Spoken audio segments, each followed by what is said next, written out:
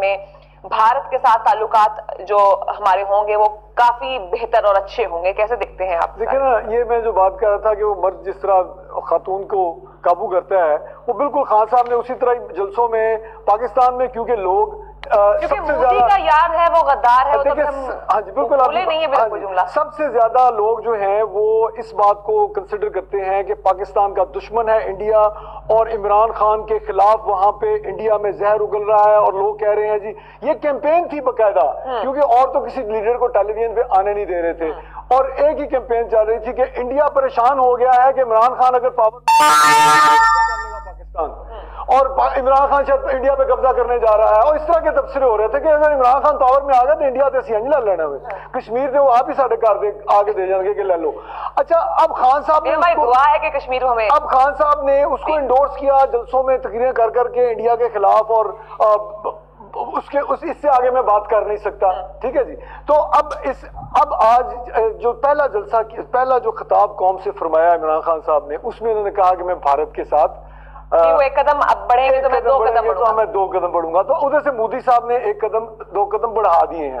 اب دیر از a probability کہ مودی صاحب شاید ان کی ان کو یہ انوائٹ بھی کریں پریمیئر شپ کی جب اوتھ ٹیکنگ کے اوپر۔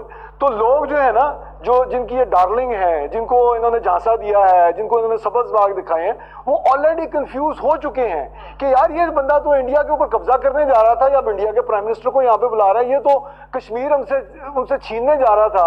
اور باقاعدہ تقریروں میں اس نے کہا کہ جی میں دیکھو میں تو یہ ان کی جو with every coming day you will ask me the same kind of question Khan صاحب تو یہ کہتے تھے اب یہ ہو گیا ہے۔ خان صاحب تو یہ کہتے تھے۔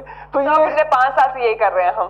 نہیں لیکن دیکھیں الٹیمیٹلی جو آپ بات کر رہی تھی نا کہ ایکسپوز جو ہے وہ پیپلز پارٹی کیوں چاہ رہی ہے کہ عمران خان پاور میں آئے پرائم منسٹرشپ ملے؟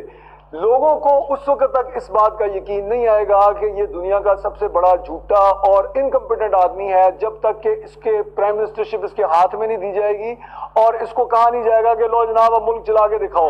اور پہلی تیس دن بعد انہوں نے نہ تقریر کی میں بھی ادھر ہی بیٹھا ہوں گا کہ جناب اکانومی کا پٹھا بیٹھ گیا ہے۔ میں نے جو سارے سو دن کا پلان تھا اس کو میں رول بیک کر رہا ہوں۔ ہم نے ری وزٹ کیا ہے۔ دیکھیں مدینہ کی ریاست آلریڈی جا چکی ہے آئی ایم ایف کے پاس۔ ٹھیک ہے۔ اور اسد عمر صاحب کے بارے میں جس طرح آپ کہہ رہی تھی انہوں نے اینگرو کو تباہ کر دیا۔ اب اینگرو دوبارہ کھڑی ہو چکی ہے۔ تو خان صاحب کی جو کنٹراڈکشنز ہیں وہ اس وقت سامنے آئیں گی جب وہ پاور میں آئیں گے۔ اور پاور میں آ کے جب یہ ڈلیور اللہ کرے وہ ڈلیور کریں اللہ کرے کہ سو روپیہ فیس ہو جائے سارے سکولوں کی۔ اللہ کرے کہ تمام پاکستان میں شوکت خانم جیسا اسپتال ہو جائے سارا۔ اللہ کرے کہ تمام پاکستان میں نمل یونیورسٹی جیسا ماحول پیدا ہو جائے۔ لیکن اچھا،, اچھا ڈاکٹر سعید لائی صاحب، خان صاحب نے اپنا پہلا خطاب کیا تو ہم نے فار می میں تو اپنی بات کروں گی کہ میری نظر میں عمران خان صاحب کی پرسنالٹی ون ایٹی ڈگری پر چینج ہوئی۔ میں ایک اس شخص کو دیکھ رہی تھی جو دھرنوں سے لے کر جلسوں تک گالیاں نکالتا آیا اپنے مخالفین کو، انڈیا کو بھی گالیاں نکالی۔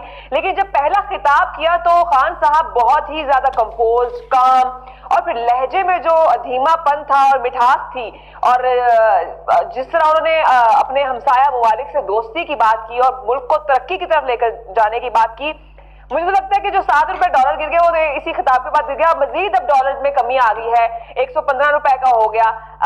کیا آپ کو لگتا ہے کہ خان صاحب نے جو پچھلے دنوں کیمپین کی اپنی، وہ ظاہر بات ہے میر صاحب کہہ رہے ہیں کہ ظاہر بات ہے کیمپین بھی تو چلانی تھی۔ تو کیا جو یہ بیانیہ تھا کہ بھارت کو جو گالیاں نکالی جا رہی تھیں اور کہا جا رہا تھا کہ ہم یہ کر دیں گے وہ۔ تو یہ یہ بیانیہ بکا ہے عوام میں۔ اور اب خان صاحب جو ہے وہ اوبیسلی جو ایز اے پرائم منسٹر جو ان کو ایک کیریکٹر دکھانا چاہیے اب وہ کھل کر سامنے آ رہا ہے۔ دیکھیں سب سے پہلے تو جو دعوے کیے تھے انہوں نے وہ مکمل کرنے شاید ان کے بس میں نہیں ہے۔ کیونکہ فورن پالیسی بن جاتی ہے اس کے خد و خال ترتیب دیے جاتے ہیں اس میں بہت سے سیکٹرز اور قوتیں ہوتی ہیں۔ تو اس کو عمران خان صاحب تن تنہا نہ بدل سکتے ہیں اور نہ بہتر کر سکتے ہیں۔ اور دوسری بات یہ ہے کہ جیسے آپ نے کہا کہ وہ بدلے ہوئے انسان تھے تو یہ بات تو بہت عرصے کی کہی جا رہی ہے کہ وہ ہر بات پہ یو ٹرن لیتے ہیں۔ پہلے کچھ کہا اب کچھ کہا۔ لیکن میرا یہ خیال ہے کہ جو ہم ان کی تقریر سے توقعات وابستہ کیے ہوئے ہیں اور اس کے لیے دعا گو بھی ہیں وہ شاید ان سے پوری نہیں ہو سکیں گی۔ اور وہ ان تمام چیزوں کو بر وقت قابو نہیں کر سکیں گے۔ چند دنوں میں فورن پالیسی چینج نہیں کر پائیں گے۔ کیونکہ جو ایشوز چل رہے ہوتے ہیں، انہیں یکدم سوئچ آف نہیں کیا جا سکتا۔ افغانستان، بھارت، ایران جو ہمارے ہمسائے ہیں اور چائنا ہے ان سے ہماری کوڈینیشن ہے مختلف چیزوں کی، جو آہستہ آہستہ تبدیل ہوتی ہیں اور اس میں دن نہیں، بلکہ سالوں درکار ہوتے ہیں۔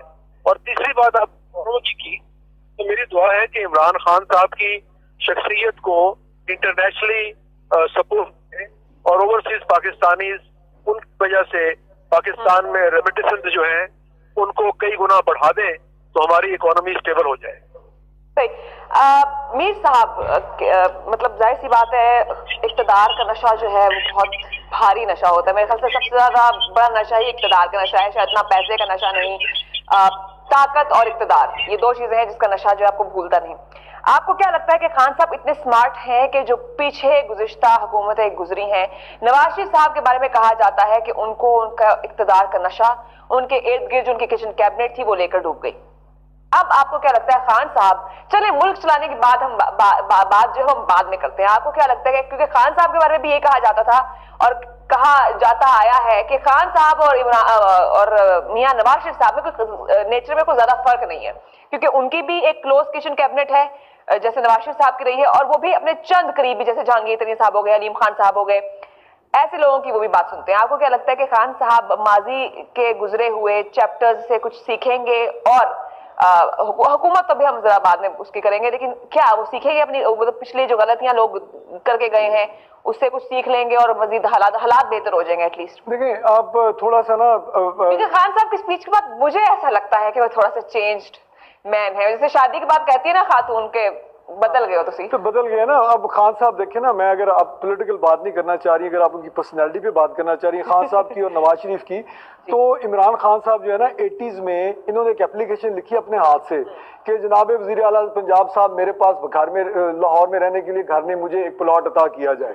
وزیر اعلیٰ صاحب پنجاب نواز شریف صاحب نے کنال ریویو ہاؤسنگ سوسائٹی میں ایک پلاٹ عطا کیا۔ پھر انہوں نے لکھی اپلیکیشن جناب جناب وزیر اعلیٰ صاحب مجھے شوکت خانم کے لیے، وہ انہوں نے اب نواز شریف سے ہمیشہ خان صاحب نے لیا ہے ٹھیک ہے۔ اور خان صاحب اور نواز شریف کو کمپیئر کر نہیں سکتے۔ خان صاحب بھول جاتے ہیں فوراً کہ میں نے میرے اوپر اس بندے نے کیا احسان کیا ہے۔ علیم خان کو بھی خان صاحب اس طرح تو نہیں کہا نا کہ جس پر احسان کرو اس کے شر سے ڈر ہوتے ہیں نواز شریف صاحب کے لیے سبق ہوا۔ جو اقتدار کے نشے کی بات جو ہے نا جی۔ اقتدار کا نشہ وہ کے پی کے گورنمنٹ میں آلریڈی وہ لے چکے ہیں۔ علیم خان کے جہازوں میں اور کیا نام ہے خیبر پختونخوا کے ہیلی کاپٹروں میں اور جہانگیر ترین خان کی کے بڑے بڑے جہازوں میں۔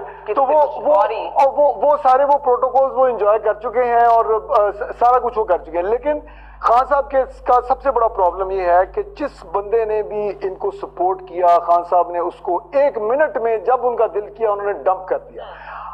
دیر از ایوری پاسبلٹی کہ علیم خان صاحب بھی ڈمپ کر دیے جائیں کیونکہ جو جنہوں نے